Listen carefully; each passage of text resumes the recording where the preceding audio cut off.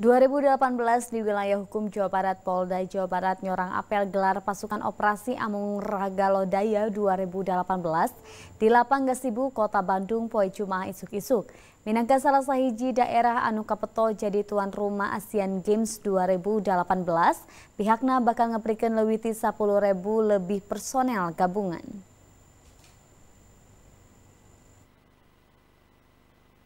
Di Nararaga ngajaga keamanan Asian Games 2018 di wilayah hukum Jawa Barat, Polda Jawa Barat ngokolakan apel gelar pasukan operasi Amung Raga Lodaya 2018 di Lapang Gasibu Kota Bandung Pojumah isuk-isuk.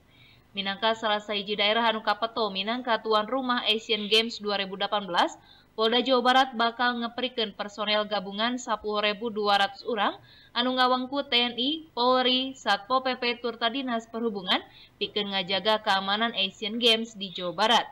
Lianti dipernahkan di sawatara venue di Jawa Barat pikeun ngamankeun prak-prakan pertandingan Eta personel gabungan teh bakal mancen pikeun nyinglar gangguan keamanan di luar venue, utamana tina ancaman teroris anu boga karep ngabuburak kegiatan Asian Games di Indonesia. Proses pengamanan ini adalah dimulai dari perencanaan, ya, berbagai rapat-rapat, kemudian kita kita bersama-sama dengan TNI, kemudian dinas terkait, kita sudah tinjau semua venue-venue, baik mulai dari sepak bola di Pakansari, Bogor, kemudian para gliding di puncak, si Jalak Harupat, kemudian uh, sepeda di Subang sampai dengan Kerabang sudah kami cek.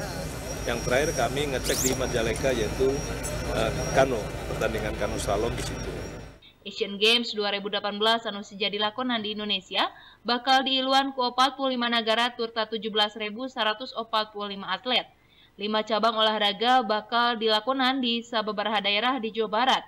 Polda Jawa Barat umaja ka sakumna masyarakat Jawa Barat pikeun ngajaga sinergitas turta kondusivitas keamanan minangka tuan rumah anu hade turta nguniangkeun rasa aman turta tumaninah patandang negara sahabat dina ngalakonan kegiatan Asian Games.